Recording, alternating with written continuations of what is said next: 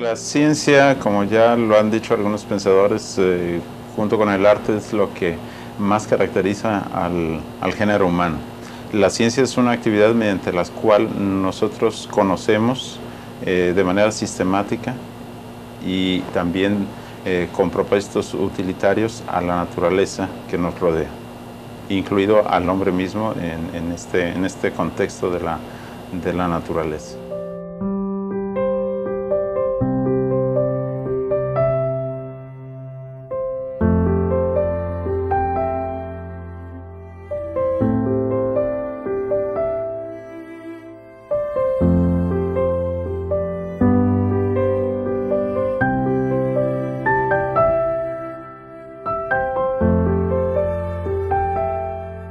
Nosotros desde luego tenemos una participación social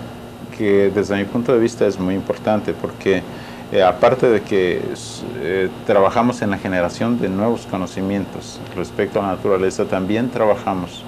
en la formación de eh, nuevos profesionistas.